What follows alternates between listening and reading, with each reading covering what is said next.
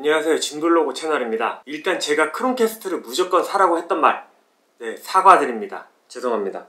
제가 이런 제품이 있는지 전혀 몰랐습니다. 이런 사람이 tech 유튜브를 운영해도 될런지.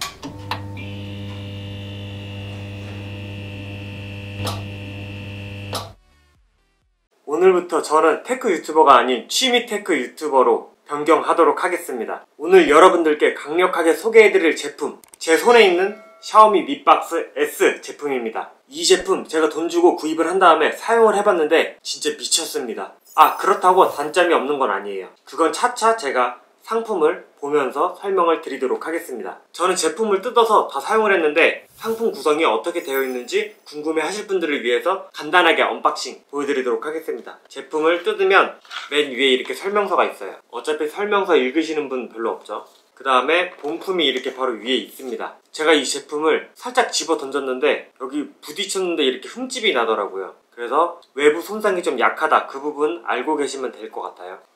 그 다음에 이 밑에 열게 되면 제가 선 정리를 제대로 안 해놨는데 HDMI 선이 있고 전원 케이블이 이렇게 있습니다. 셋탑박스 제품이기 때문에 리모컨이 이렇게 같이 있어요. 그래서 리모컨을 보여드리면 엄청 심플하게 생겼습니다. 그쵸?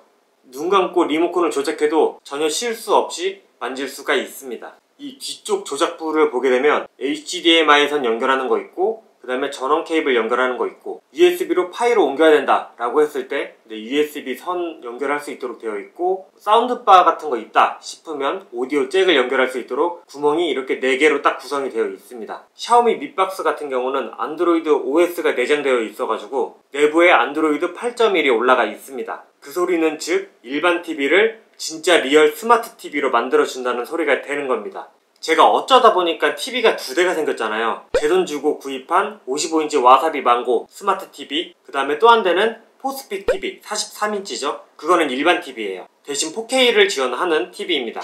그래서 잠자기 전에 보는 TV를 포스픽 TV 43인치 4K 일반 TV를 사용을 하고 있는데 거기에 크롬캐스트를 연결해놨는데 뭔가 2% 부족한 느낌이 들었습니다. 그런데 제 손에 있는 이 샤오미 미박스 S 그 부족한 2%를 완벽하게 해결해 줬습니다. 거기에다가 이 제품 한글까지 지원을 해요. 그리고 안드로이드가 올라가 있다 보니까 이 안에다가 넷플릭스, 웨이브, 유튜브, 왓챠 플레이 거기에다가 NAS에 연결해가지고 영상까지 스트리밍으로 볼 수가 있습니다. 추가로 구글 플레이가 있기 때문에 일반적인 애플리케이션도 설치가 가능하죠. 대박인 거. 제가 크롬캐스트 필요 없다고 했잖아요. 여기 자체에 크롬캐스트가 내장되어 있어요. 예를 들어서 미박스에서 어떤 앱을 실행을 해가지고 거기에서 뭐 시청을 하거나 뭔가 작업을 하고 있다. 그러다가 스마트폰에서 크롬캐스트 미박스를 딱 잡아버리면 기존에 하던 게 멈추고 크롬캐스트로 바로 전환이 돼버려요. 거기에다가 여기 리모컨, 네, 리모컨 자세히 보시면 이 마이크 모양 있죠, 마이크 모양. 구글 어시스턴트를 부를 수가 있어요. 말로 다 된다는 거죠. 미쳤죠?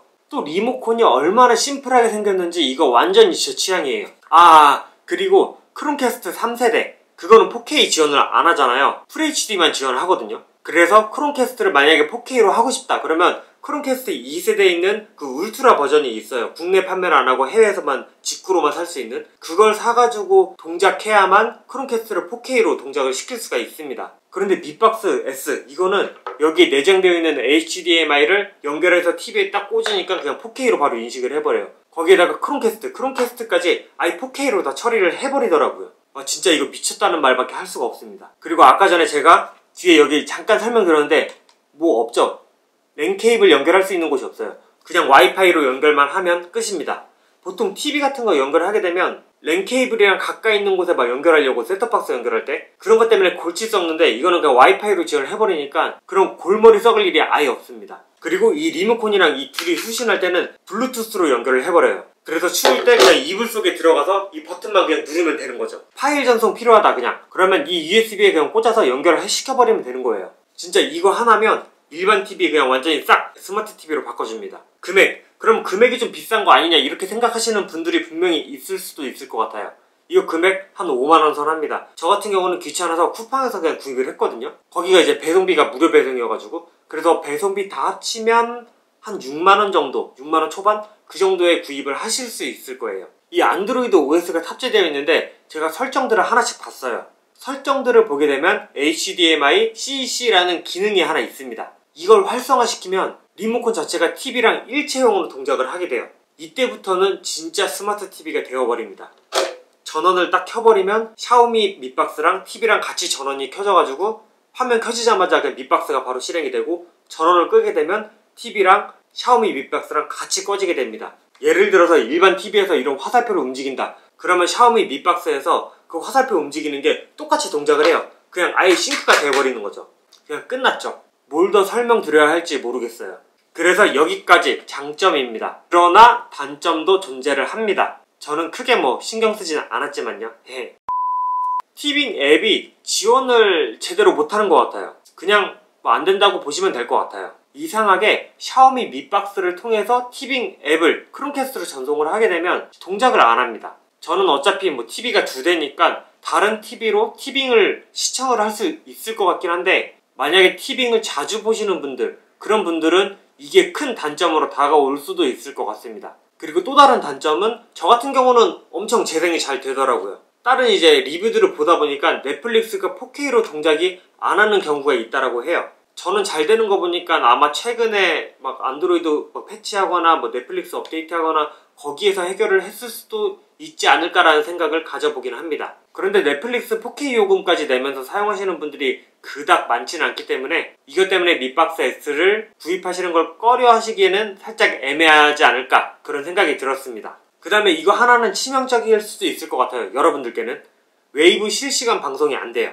이 안드로이드 TV 앱에서는 영상 다시 보기만 가능하다라고 합니다. 그래서 실시간 보기에 아예 탭 자체가 없어요. 이걸 해결하기 위해서는 제가 인터넷을 뒤져보다 보니까 코디라는 앱을 깔아가지고 푹 애플리케이션 그 파일을 막 추가로 넣어가지고 하면 코디에서 실시간 방송을 볼 수 있다라고는 해요. 그런데 어차피 이 안에 크롬캐스트가 내장이 되어 있잖아요. 그래서 실시간 다시 보기 같은 경우는 스마트폰 거기에서 웨이브를 킨 다음에 크롬캐스트로 전송을 시키면 정상적으로 동작하니까 그런 식으로 볼 수 있는 방법도 있습니다. 어떻게 보면 조금 귀찮죠? 되긴 되는데. 그런데 역시 저 같은 경우는 일반 TV 프로그램을 실시간으로 보는 경우가 거의 없어요. 그래서 이 제품을 사용하는데 전혀 영향을 끼치지는 못했습니다. 제가 확인한 단점은 한 이 정도였고 장점이 너무 어마무시하기에 단점들을 완전히 상쇄시켜버렸습니다. 네, 이렇게 해서 제가 샤오미 밑박스 구입을 하고 나서 한 며칠 동안 사용해본 리뷰를 한번 여러분들께 말씀드려 봤습니다. 밑박스 S를 구입을 생각하시는 분들 아니면 이 제품 궁금해 하시는 분들 밑에 댓글 남겨주시면 제가 지금까지 모든 댓글 다 달았거든요. 여러분들 댓글 달아주시면 제가 확인해가지고 답변 하나씩 다 드리도록 하겠습니다. 그러면 이 영상 도움이 되셨다면 밑에 있는 좋아요 그리고 구독 눌러주시면 감사하겠습니다. 다음 영상에서 좀 더 유용한 정보 그리고 재미있는 리뷰로 찾아오도록 하겠습니다. 다음 영상에서 뵙도록 하겠습니다. 감사합니다.